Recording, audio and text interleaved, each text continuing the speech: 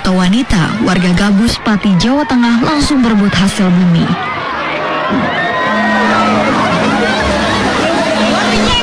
Ada yang mencomot, menggetuk gunungan, ada pula yang memanjat hingga gunungan hasil bumi itu rubuh.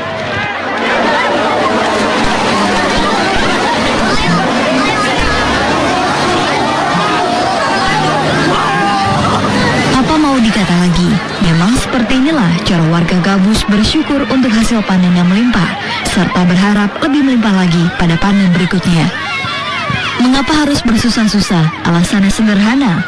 Warga percaya jika mendapatkan sedekah hasil bumi akan membawa rezeki. Itu apa ini? Itu apa itu nanti? Ya, nanti kalau bisa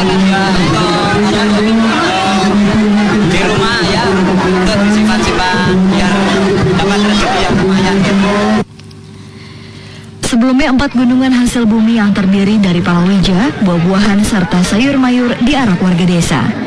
Di barisan terdepan adalah warga kepala dan perangkat desa yang dikawal pasukan bertombak.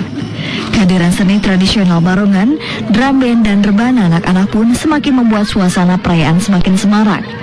Secara turun-temurun, tradisi sedekah hasil bumi diwariskan dan dilakukan pada setiap bulan apit menurut penanggalan Jawa. Tradisi ini merupakan wujud syukur warga dan tolak bala. Demikian laporan Abdurrahim dari Pati, Jawa Tengah.